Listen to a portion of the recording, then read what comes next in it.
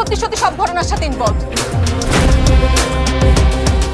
Hello hi আমি আরিয়ান এখন আমি কথা বলব গোলাম মামুন এই সিরিজটা নিয়ে, যেটা আমি মাত্রই দেখে শেষ করলাম, প্রায় সাড়ে তিন ঘণ্টা। তো কেমন লাগল? যদি আমাকে এক কথাই বলতে বলেন, তাহলে আমি বলব ইট ওয়াজ এ গুড সিরিজ এটার অনেক পজিটিভ দিক প্লাস কিছু নেগেটিভ পয়েন্টও রয়েছে। প্রথমত যারা বুকের মধ্যে আগুন এই সিরিজটা দেখেছেন, তারা জানেন বুকের মধ্যে আগুন, সেই সিরিজে যে ক্যারেক্টারটা ছিল Golam Mamun, সেইটারই spin off series Golam Mamun এই সিরিজটি। তো যার কারণে গোলাম মামুন এই ক্যারেক্টারটা নিয়ে কিন্তু আমাদের আগে থেকে একটু ধারণা ছিল যে এই ক্যারেক্টারটা কেমন, এই ক্যারেক্টারের অ্যাক্টিভিটিস কেমন? স্পেশালি এটার কারণে এই সিরিজটা দেখার প্রতি একটু আগ্রহ ছিল। তো যাই হোক, এটার গল্প সম্পর্কে যদি একটু বলি, এখানে একটা মার্ডার হচ্ছে এবং সেই কেসটাতে ফাঁসিয়ে দিচ্ছে গোলাম মামুন এই ক্যারেক্টারটাকে। এখন গোলাম মামুন নিজেকে সেই জায়গাটা থেকে প্রুভ করতে পারবে কিনা, নিজেকে সেভ করতে পারবে কিনা, বা এই মার্ডার গুলোই বা কেন করা হয়েছে, এটা জানতে হলে আপনাকে দেখে নিতে হবে গোলাম মামুন যেটা হয়েছে এতে স্ট্রিম হচ্ছে। এই সিরিজের প্রথম পজিটিভ দিক, এটার আইডিয়া এটার গল্প। এইটা বেশ ভালো। সিরিজটা যেভাবে শুরু হয়, এটা বলতে পারেন একদম মেইন পয়েন্টে থেকে। গল্পটা যেভাবে এগিয়ে যেতে থাকে,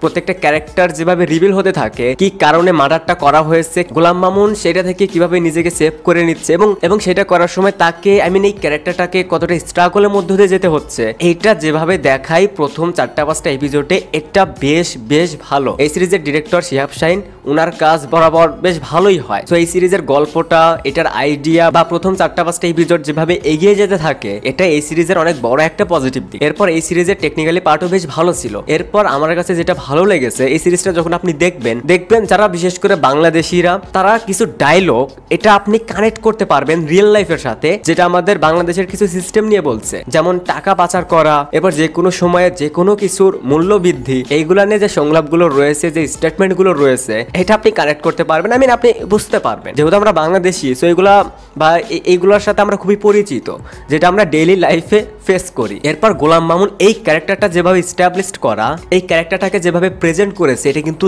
দারুণ। এরপর পারফরমেন্স নিয়ে যদি বলি, এখানে বিশেষ করে অপূর্ব, দারুণ কাজ করেছে। অপূর্ব লোক ফিটনেস তার তার কিছু কিছু জায়গায় এক্সপ্রেশন তার ডায়লগ ডেলিভারি এগুলো দারুণ। নর্মালি অপূর্বকে এরকম ক্যারেক্টার খুব একটা দেখা যায় না। আর যখন সে এই ধরনের ক্যারেক্টারগুলো প্লে করে এবং এর আগে বুকের মধ্যে আগুন, সেখানেও কিন্তু এই ক্যারেক্টারটা গোলাম মামুন ক্যারেক্টারে অপূর্ব, দারুণ পারফর্ম করেছে। সেম এই সিরিজেও অপূর্বর পারফরমেন্স ছিল এনার্জেটিক। এছাড়া সাইড ক্যারেক্টারে আরও যারা ছিলেন, তারাও বেশ ভালো ছিল। সাবিলা নুরও ভালো কাজ করেছে। এই ক্যারেক্টারের একটা টুইস্ট রয়েছে, সেটা আই থিঙ্ক কোথাও গিয়ে অনেকের কাছেই ওয়ার্ক করবে। এরপর ক্লাইম্যাক্স এটাও বেশ ভালো।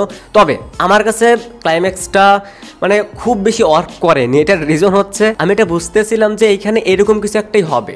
যেভাবে অপূর্ব কোশ্চেনগুলো থ্রো করতেছে সেটার অ্যান্সার আসতেছে সেই সম্পর্কে সব বলে দিচ্ছে রিভিল করে দিচ্ছে। তখনই বুঝতেছিলাম যে এইখানে এরকম কিছু একটা হতে পারে। আর পরে দেখি যে সেটাই হচ্ছে। বাট ক্লাইম্যাক্সও বেশ ভালো, এটা আপনাদের কাছে ওয়ার্ক করবে। এবার আসি একটা দুইটা নেগেটিভ পয়েন্টে নিয়ে। অনেকের কাছে পুরো সিরিজটাই ভালো লাগবে বাট আমার কাছে স্পেশালি এই সিরিজের আই থিঙ্ক সাড়ে তিন ঘণ্টা, এটা আমার কাছে অনেক বেশি মনে হয়েছে। যার কারণে এপিসোড সিক্স সেভেন বা ফাইভ এই দুইটা তিনটা এপিসোডে কিছু কিছু জায়গায় আপনার কাছে বোরিং লাগতে পারে, বা মনে হতে পারে যে গল্পটা এগোচ্ছে ঠিকই বাট ফিল হচ্ছে না। স্ক্রিনে হচ্ছে, দেখতেছেন, ঠিক আছে, এ পর্যন্তই। বাট সেই টেনশনটা সেই কয়েকটি এপিসোডে আই থিঙ্ক ঠিকঠাকভাবে ওয়ার্ক করে না। এটা শুধু আমার ক্ষেত্রে হয়েছে কিনা জানি না।